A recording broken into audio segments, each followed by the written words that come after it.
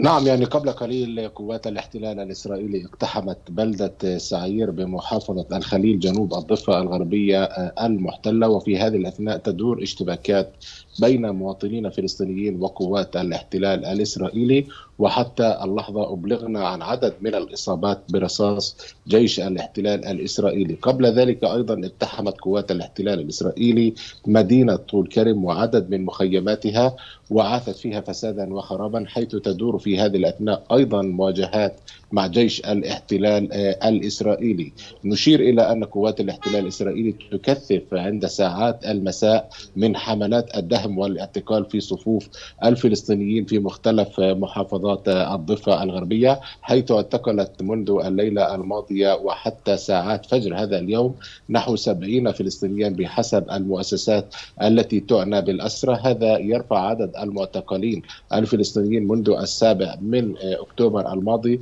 إلى 3450 مواطنا فلسطينيا اعتقلتهم قوات الاحتلال الإسرائيلي بدوافع الانتقام من أبناء الشعب الفلسطيني في الضفة الغربية في وقت تواصل فيه آلة الحرب والعدوان الإسرائيلي حربها آه، المسمومة على قطاع غزة وتقتل المزيد من الأبرياء حيث ارتفعت الحصيلة أيضا في قطاع غزة إلى أكثر من 16 ألف شهيد وأكثر من 35 ألف مصاب في العدوان الإسرائيلي المتواصل لليوم التاسع والخمسين على التوالي نشير أيضا إلى أنه منذ ساعات فجر هذا اليوم اقتحمت قوات الاحتلال الإسرائيلي مدينة قلقيلية شمال الضفة الغربية وقتلت شابين فلسطينيين وأصابت عدد من المواطنين بجراح بينهم شرطي فلسطيني وكذلك عند ساعات مساء هذا اليوم اقتحمت قوات الاحتلال الإسرائيلي مخيم قلنديا وبلدة كفر عقب شمال نعم. مدينة القدس المحتلة وقتلت شابا فلسطينيا تم تشييع جثمانه عند ساعات مساء هذا اليوم بالإضافة إلى إصابة أكثر من 33 مواطنا فلسطينيا وتواصلت الاقتحامات لعدة ساعات عاثت خلالها قوات الاحتلال المزيد من الخراب والدمار في مخيم كولنديا وفي نعم. بلدة كفر عقب حيث اقتحمت مقر محافظة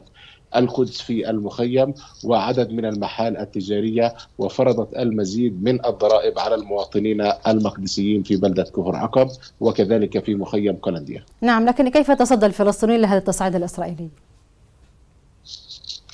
الفلسطينيون بطبيعة الحال على الدوام يتصدون بصدورهم العارية ومن يتمكن من إلقاء الحجارة وإن كان هناك مسلحين يطلقون النار على الاحتلال الإسرائيلي كما حدث صبيحة هذا اليوم في مدينة طول كرم حيث كان هناك اشتباك مسلح ما بين مقاومين فلسطينيين وقوات الاحتلال الإسرائيلي. بطبيعة الحال يعني الشعب الفلسطيني يواجه بصدوره العارية آلة الحرب والعدوان الإسرائيلية حيث يتناوب جيش الاحتلال الإسرائيلي مع قطعان المستوطنين في اعتداءاتهم على المواطنين الفلسطينيين بذلك ارتفعت حصيلة الشهداء منذ السابع من